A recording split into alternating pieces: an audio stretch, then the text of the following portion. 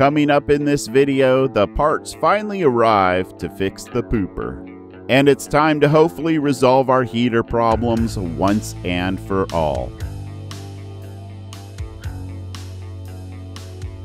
I'm Ben, this is Rebecca. We're leaving Alaska to drive our 4x4 expedition vehicle around the world. Between honoring our dogs through their golden years and then COVID, this is our third attempt at leaving the country. Join us as we prepare for the first leg of our journey, traversing the subarctic winter conditions of Alaska and Canada.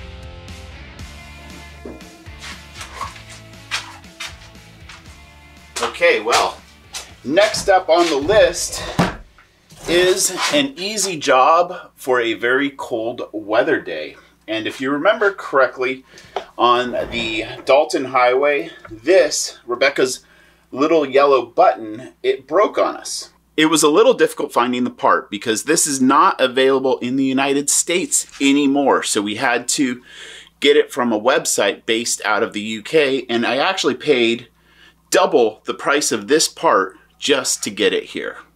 It's amazing how such a minute piece can cause such a problem. And we duct taped it, but all right, let's see here.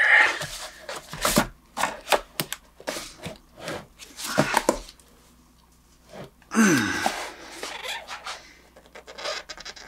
Okay, there we go. This needs a little turn. And I want to be extra careful. Oh, my, oh, okay, I just wasn't all the way over. Okay, so now it's just coming off by hand already. Let's go back to this plastic little putty knife. Work it on around. And, okay. Ooh, yeah, yummy. Good stuff here. Mmm.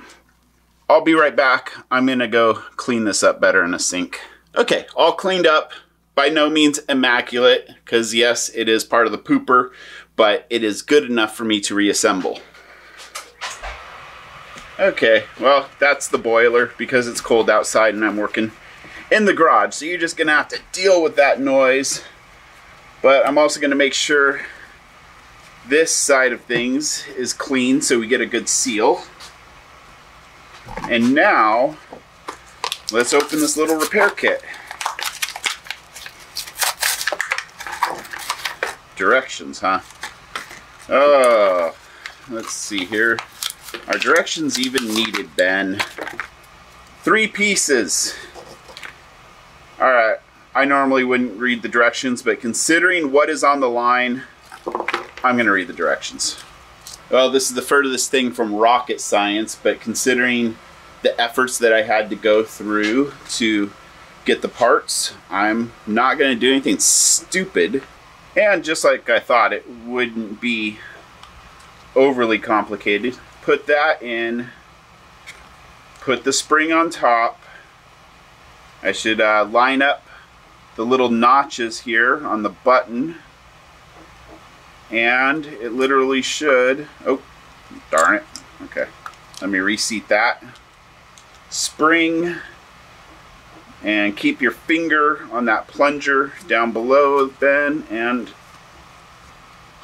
snap. Oh did you hear that? I felt it. And it's spring loaded again. Okay good. It doesn't say anything about this being required, but I'm just going to take a little petroleum jelly and put it around this O-ring just so it slides in easier. And our plan before we actually hit the Pan American is to buy extra parts for this thing at least, or get it replaced and maybe go composting. I don't know yet. But anything that could break and cause poop to leak out, I'm going to want to have extra parts for. And that's going to be the obvious items, like probably another one of these, because it was only like six pounds UK. This right here, this puppy has the potential of falling off uh, when you're dumping it. And then this right here. Oh, there we go. That right there, I've been a little nervous about for years, but we're going to get that part here. And then this other little breather and then this. So essentially, I want to make it so that if there is a problem, it's not going to mean poop and fecal matter splashing around and going everywhere. You know, if the little kind of the water supply issue for the toilet has a fault, oh well, I can deal with that. I can pour a little bit of uh, water from a bottle into the toilet, but poop leaking out is a game-changing problem. Now back to the project at hand, I can see tabs right here and tabs down in there. Gonna get it lined up. Okay, it's seating down. Okay, that's good. Now, let's give it a twist.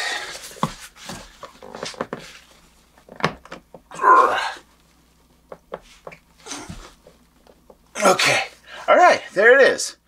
There's an arrow on the case and an arrow on this.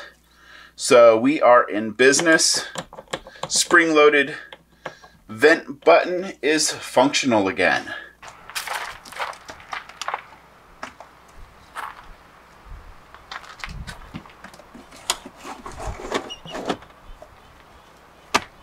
All right, that's one more thing knocked off the to-do list. Packages are rolling in and we can move forward. Today we are gonna work on the Espar and some Amazon stuff came in as well. All right, this is what a $1,068 looks like.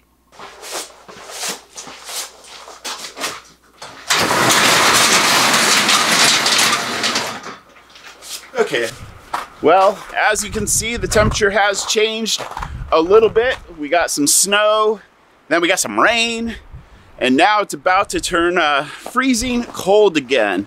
But right now I'm guessing that we are only a few degrees above uh, freezing right now. Well, nothing to it but to do it. Let's jump into this project. Okay, so I got the wiring harness connector undone, and now I need to disconnect the coolant going into the unit which comes from an inline and back here an outline.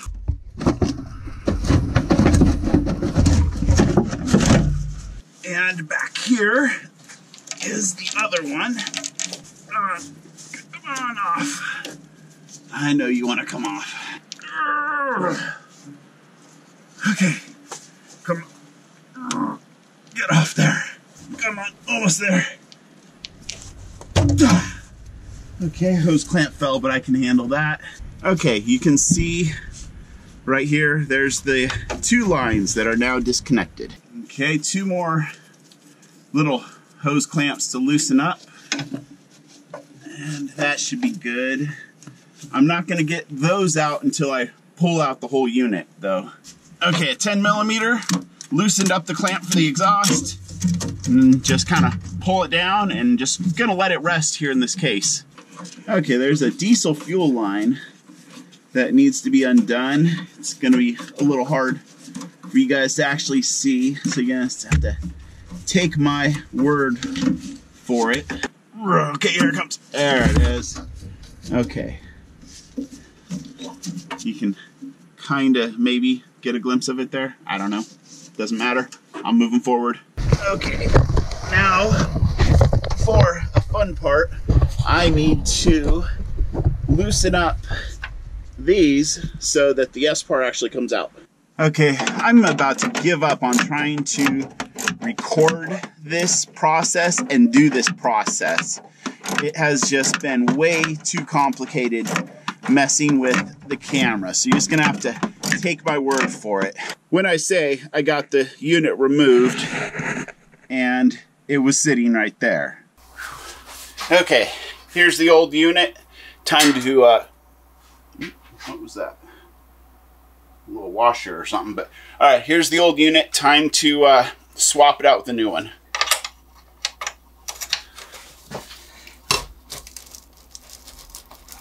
That one's tight. Okay. there we go. Okay, there's the nut, the washer, the bolt. The unit should be free now. Famous last words. Oh.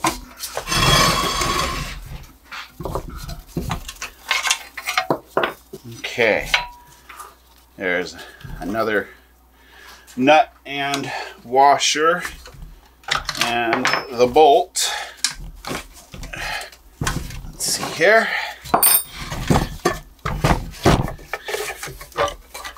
Okay, there we go. The bolt is in the bottom of this tray. All right, there it is. Some Dempster mud in here. Gotta love that crap. Okay, now I just need to remove the Espar unit here by detaching it from these hoses. Come on now. Come on. Wow, this one's a bugger. Come on now. You're so close. Okay. Ah, it's removed. Before I go any further, I am going to get all of this Dempster mud out of here. That can't be doing it any favors. And I don't necessarily think that was my problem because my current problem is with the coolant circulation. Ooh, I got snot dripping off my nose. The coolant circulation pump, which is a sealed system, not like the uh, air intake, which is what would be affected by this. But I'm getting it out of here. Look at that. That is nasty stuff. I don't think I'm ever going to live down the wrath of the Dempster Highway. Amazing trip, though. But still, I think for the life of me, on this truck, I will always find Dempster mud. Okay, the box is all clean. And once again, I have grossly underestimated the amount of time it takes me to do things. I thought that since this was like the third time going into it, maybe an hour, three at the most. Well, I'm three hours into it, and granted, I'm about to crest the hill and go down and uh, put it all together, and which always happens faster. But damn, I always do this, and it's lunchtime. Can't forget to eat. Thank you. Do you need something to wash your hands? Ah, no, little dirt is fine. Juice. Thank you. what are you doing today? Uh, computer club. Hmm. I've got Who's in your computer club today? just me, myself, Okay. and I. it's busy. We chat a lot in there. Okay. All right, eating lunch. Okay, we are pretty much back together completely on this end. Just gonna tighten up that hose clamp there. Tighten up this hose clamp here. And we should be in business. One thing I want to do while I have this angle is just loosen this. This is the bleeder, so I can burp air out of the system. And I just wanted to make sure it wasn't too tight before I get it into a position where loosening it might be a little more difficult. Okay, the reinstall went light years quicker. And let's see here. The cover's still off, but the coolant lines are hooked up. The fuel line is hooked up and the harness and exhaust. Now for the moment of truth to fire things off. I do have to switch one thing over here. So as I've mentioned, we can heat the camper box while we're driving. I just have to flip this switch. But when we're parked and working off the Espar, it needs to be in that position. Okay, let's come over here to the thermostat. Okay, I hear a blower clicking on in here. And I know it's gonna take a minute for fuel to uh, prime because the system was completely empty. I ended up having a uh, wiring issue as well. It is operating now and it's gonna take a minute for it to fire off.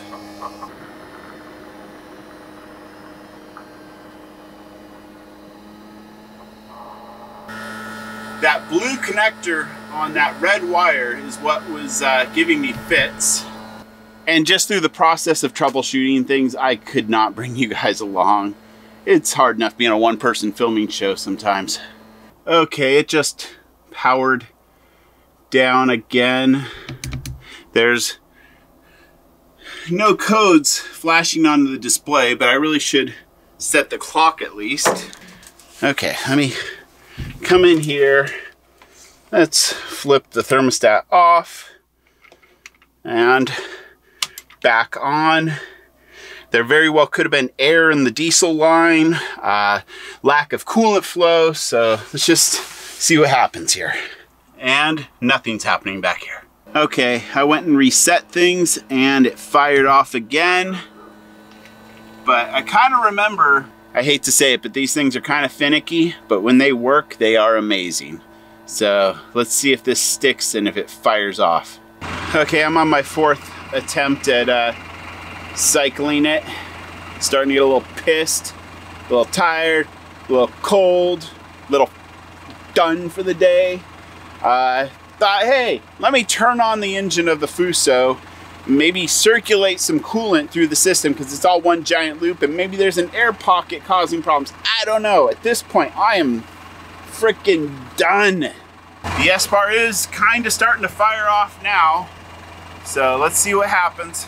Uh, in case I haven't mentioned it, I'm done for the day, but I can't be done. I need to get this running. I don't want to jinx myself, but I think I'm slowly making some progress. So it was not uh, fuel, like air in the fuel lines that was the problem. I'm pretty confident it was air in the coolant system just causing it not to work right. And I remember it was a bugger to uh, get bled because the previous owner has a little pressure relief thing installed right here and another one installed right here. So there's nothing uh, coming out right there, which means that I'm not getting good circulation yet. This is one of my uh, registers. That's a cold line, and that's a cold line. But on a positive note, the Espar is still running. Okay, five o'clock Alaska time. Getting dark here. Things are uh, looking good. I think I bled almost all the air out because it's been running uh, like this for at least 10, 15 minutes, which is good. And all that smoke is just the stuff burning off. I'll just put it that way. So I'm not too concerned about that. Oh, it's slowing down. That could mean either it reached its temperature and it's doing its kind of intelligent thing and backing off or means I'm not done yet. Okay, knock on wood, or as some parts of the world say, touch wood. I'm done. It's done. It ran for like an hour and a half and nothing is ever cut and dry and easy. There's always going to be challenges and it's like six o'clock now. Have a good night, guys.